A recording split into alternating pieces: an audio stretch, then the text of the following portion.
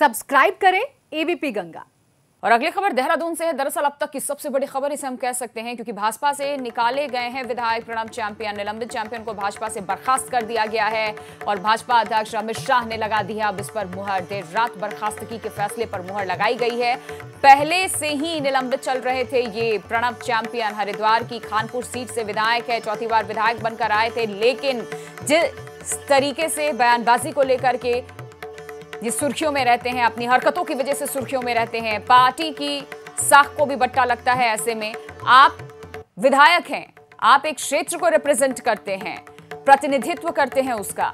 लेकिन इस तरीके से अगर आपके वीडियोस वायरल होंगे, शराब पार्टी करते आप देखे जाते हैं, आर्म्स एक्ट का उल्लंघन करते हैं, बदजुबानी करते हैं आप तो ये विधायक को शोभा नहीं देता। और पार्टी की साख पे भी बट्टा लगता है और अब अमित शाह ने मुहर लगा दी है, इन्हें बर्खास्त कर दिया गया। एबीपी गंगा संवाददाता अजीत राठी जुड़ चुके हैं और ज़्यादा जानकारी के साथ अजीत भाजपा से निकाले गए विधायक प्रणब चैंपियन। हाँ जी प्रिया देखिए ये कार्रवाई देर रात कर दी गई थी और आश्चर्य की बात यह है कि जो प्रदेश संगठन है प्रदेश नेतृत्व है भाजपा का वो भी इस पूरी कार्रवाई से अंजाम था। लेकिन दिल्ली से जो जो वरिष्ठ नेता थे उन्होंने इस बात की पुष्टि की कि प्रणाम सिंह चैंपियन को निष्कासित कर दिया गया है। कल एक कदम उठाया गया था शाम के समय की प्रदेश भाजपा नेतृत्व ने उनके निलंबन को अनिश्चित काल के लिए बढ़ा दिया है लेकिन देर रात होते होते उनका निष्कासन की खबर भी आने लगी थी। पुष्टि के बाद यह एकदम जब कंफर्म हो गया पुष्ट हो गया कि वो निष्कासित कर दिए गए हैं। तो प्रदेश संगठन की को भी जानकारी मिली। क्योंकि इस तरह की संस्कृति प्रदेश संगठन कर चुका था कि उनका आचरण ठीक नहीं है कि उनको निष्कासित कर दिया जाए तो इसीलिए अमित शाह ने अपने कुछ राय मसला करके, कुछ वरिष्ठ नेताओं के साथ तो उनको निलंबित निष्कासित कर दिया गया। तो अब देखना यही है कि जो ये मुहिम चल रही थी इस विवादों के चैंपियन के विवादों का अंत होता है कि नहीं, और या चैंपियन का अगला रुख क्या होगा? क्योंकि वो चौथी बार के विधायक हैं बहुत वरिष्ठ विधायकों में आते हैं।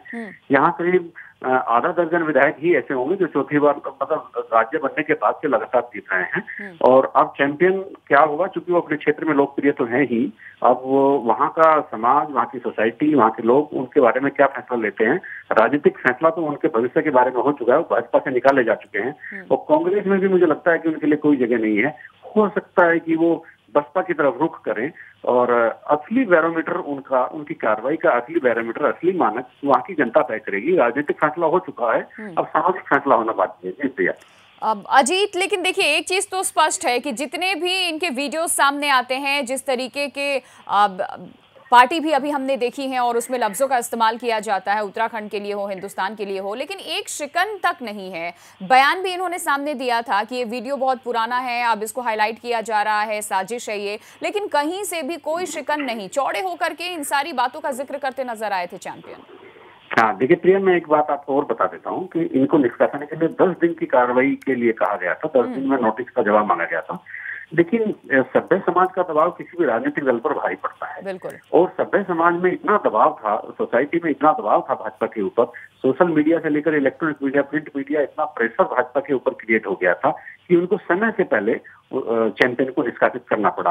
तो ये ये एक समाज की भावना होती है, ये एक समाज की धारणा बन जाती है। अगर भाजपा अभी जल्द कार्रवाई नहीं करती तो भाजपा के प्रति भी जनता में धारणा बदल सकती थी। क्योंकि कोई भी सिविलाइज सोसाइटी इस तरह के निर्वाचित विधायकों को अपना नेता मानने से कतई इनकार करती है और किसी भी कीमत पर तैयार नहीं होती। और जिस तरह से आपने अभी शिकन की बात की कि चैंपियन के चेहरे पर कोई सिकन नहीं है।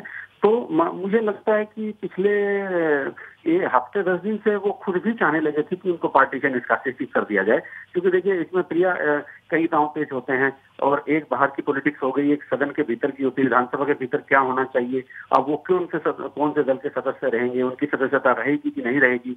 यदि और प्रणव सिंह चैंपियन खुद ही भाजपा छोड़ देते तो उनकी सदस्यता रद्द हो सकती थी। रद्द हो सकती नहीं थी उनकी सदस्यता रद्द हो जाती वो विधायक नहीं रहते। लेकिन अगर पार्टी किसी को निष्कासित करती है तो वो फिर संबद्ध सदस्य बने रहते हैं। हो सकता है उनकी कूटनीति रही हो हो सकता है उनके दिमाग में कोई दूसरी राजनीतिक विचारधारा पनप रही हो वो क्या भविष्य अपना देख रहे हैं। तो दो तरह की पॉलिटिक्स थी एक सदन के भीतर की और एक बाहर पार्टी पॉलिटिक्स। तो पार्टी पॉलिटिक्स में तो उनका जो भी होना था वो हो चुका है। अब सदन में देखना है कि भाजपा स्पीकर के सामने किस तरह से इस मामले को पेश करती है ताकि उनकी विधानसभा की सदस्यता भी चली जाए। जी। बिल्कुल, लेकिन आज बर्खास्त हुए प्रणब चैंपियन कल नोटिस जारी कर दिया गया। आप बने रहे अजित जरातल ये जो कॉपी आप देख रहे हैं, ये नोटिस की कॉपी है और दूसरी जिस विंडो में आप नाचते गाते देख रहे हैं शख्स को, वो प्रणब चैंपियन है। जो वीडियो वायरल हुआ, एक बार फिर सुर्खियों में आते हैं। हालाँकि इस पर सफ़ाई ये दी जाती है कि वीडियो अभी का नहीं है, तीन साल पुराना है, लेकिन किस तरीके से तमंचे पे डिस्को किया इन्होंने, जरा एक बार सुनाते हैं, देखिए।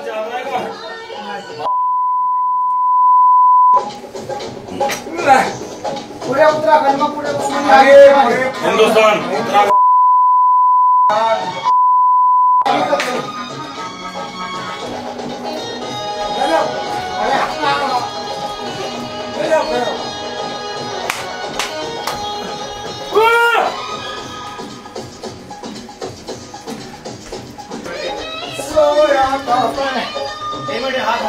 हाथ लाओ मुझको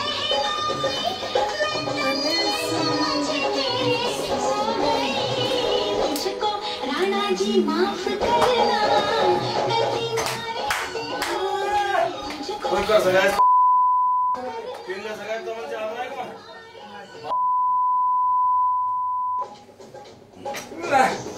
पूरे उत्तराखंड में पूरे उत्तराखंड हिंदुस्तान उत्तराखंड।